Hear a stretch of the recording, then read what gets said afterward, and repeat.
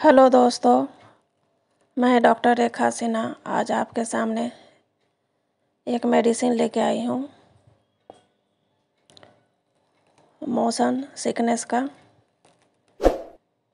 अगर आप मेरे चैनल पर पहली बार विज़िट कर रहे हैं तो लाइक, शेयर एंड सब्सक्राइब ज़रूर कर दीजिएगा, ताकि आगे का नोटिफिकेशन आपको मिलती रहे। तो चलिए शुरू करते हैं। मोशन सिकनेस यानी सफ़र में उल्टी होना। घूमना फिरना किसे अच्छा नहीं लगता है। हर इंसान का शौक़ होता है कि बाहर जाने का, हर चीज़ को देखने का, पर उसका ये शौक़ बस एक बीमारी से पूरा नहीं हो पाता। वो बीमारी है गाड़ी में उल्टी वॉमिटिंग होना। जैसे गाड़ी लगना, चक्कर आना, जी मिचलाना, गाड़ी में या फ़्लाइट में जाते समय उल्टी होना। इस बीमारी को हम मोशन सिकनेस कहते हैं। हमारा जो दिमाग होता है वो तीन गति पर निर्धारित करता है। पहला आँख, दूसरा स्किन और तीसरा कान के अंदरूनी हिस्से पर। ये तीनों चीज़ें को बैलेंस से हमारा दिमाग ये जो हमारा शरीर है, किसी हिस्से में बढ़ रहा है। हम किसी चीज़ को देख रहे हैं। वो चीज़ कितने स्टेबल हमारे कान के अंदर जो, हमारे कान के अंदर जो सेंसरी सिस्टम जो हमारे बैलेंस करने में हमारी मदद करता है। कभी कभी हमारे आँखें जो देख रहा होता है, मान लीजिए जैसे आप किसी गाड़ी में जा रहे हैं। और बाहर देख रहे हैं और आप आगे की ओर जा रहे हैं और हमारी और दूसरी तरफ़ से जो गाड़ी लौट रही है, वो चीज़ें बहुत ही मोनेबल वैसे में हमारा दिमाग बैलेंस करने में सक्षम नहीं कर पाता। है और यही बैलेंस मोशन सिकनेस का बीमारी देता है, जिसके कारण उल्टी होती है जी मिचलाता है और जी घबराने लगता है। अब चलते हैं इसके प्रमुख लक्षण के तरफ़।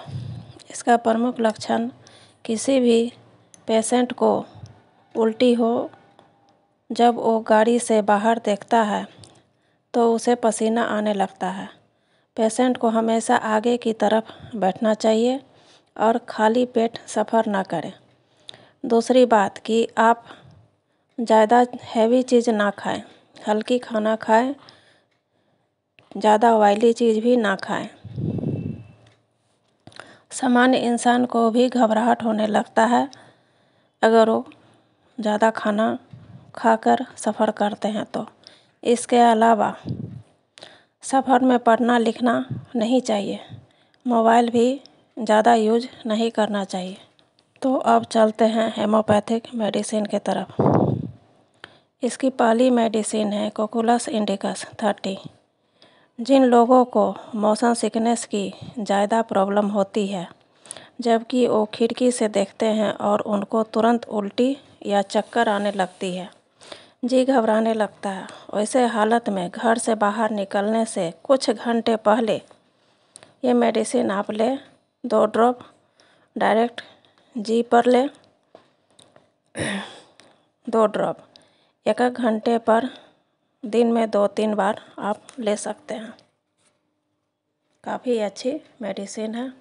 इसकी दूसरी मेडिसिन है पेट्रोलियम थर्टी।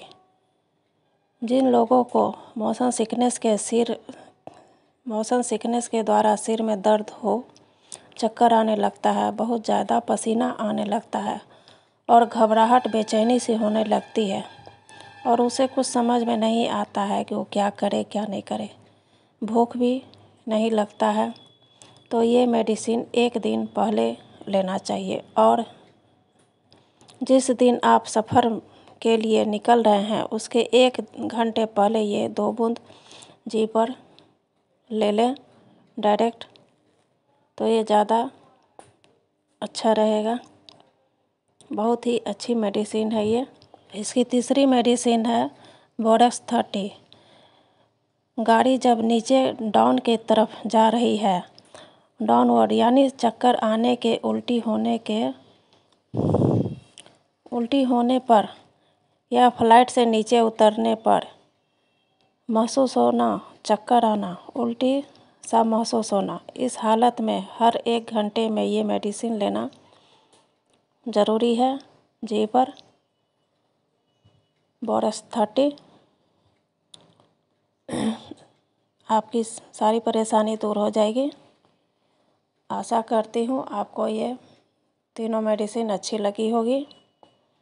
तो लाइक, शेयर एंड सब्सक्राइब ज़रूर करें। तब तक के लिए बाय बाय